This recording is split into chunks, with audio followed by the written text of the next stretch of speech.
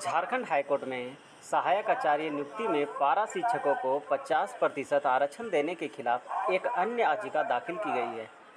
Chief justice Sanjay Kumar Mishra व justice Anand Sen की खंडपीठ में इस मामले में आंशिक सुनवाई हुई। इसके बाद अदालत ने सरकार, झारखंड शिक्षा परियोजना और जेसेसी को जवाब दाखिल करने का निर्देश दिया है। अदालत ने उक्त याचिका को पूर्व में बीआरपी सीआरपी की ओर से दाखिल याचिका के साथ संबंध करने को कहा है। इस मामले की अगली सुनवाई 28 नवंबर 2023 को होगी। इस संबंध में शिक्षिका वीना वर्णवाल एवं अन्य ने दाखिल की है। याचिका में कहा गया है कि झारखंड सरकार के सहायक आचार्य नियुक्ति के लिए वर्ष 2023 में बनाई गई नियमावली गलत है। नियमावली में 50 प्रतिशत पारा शिक्षकों को आरक्षण देना उचित नहीं है।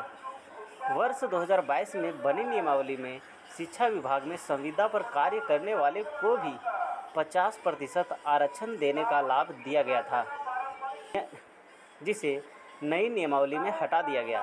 बता दें कि पूर्व में इस तरह की एक याचिका पर सुनवाई करते हुए हाई कोर्ट ने सहायक आचार्य नियुक्ति परीक्षा के विज्ञापन पर रोक लगा दी है। सिविल जज की नियुक्ति के लिए अब 35 वर्ष से अधिक उम्र वाले भी दे सकेंगे आवेदन। झारखंड हाईकोर्ट के चीफ जस्टिस संजय कुमार मिश्रा व जस्टिस आनंद सेन की खंडपीठ में सिविल जज जूनियर डिवीज़न की नियुक्ति परीक्षा में उम्र में छूट देने की मांग वाली याचिका पर सुनवाई हुई है। सुनवाई के बाद अदालत ने 35 वर्ष से अधिक की उम्र वालों को भी आवेदन भरने की छूट प्रदान की गई है।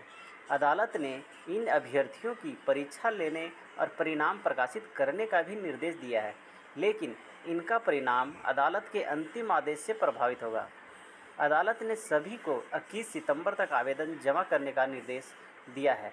इस संबंध में अभिषेक कुमार एवं अन्य ने हाईकोर्ट में याचिका दाखिल की है। याचिका में कहा गया है कि राज्य में सिविल जज जूनियर डिवीज़न की परीक्षा वर्ष 2018 में ली गई थी। परीक्षा नहीं होने के कारण प्रार्थियों की उम्र सीमा 35 वर्ष से पार हो गई है। नियमानुसार हर वर्ष परीक्षा आयोजित होना चाहिए। पाँच वर्ष बाद परीक्षा हो रही है और इस कारण उम्र सीमा में पाँच वर्ष की छूट मिलनी चाहिए।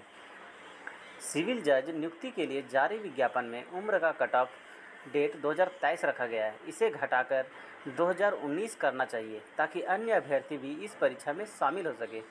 सुनवाई के बाद अदालत ने इन अभ्यर्थियों को आवेदन करने का निर्देश दे दिया है।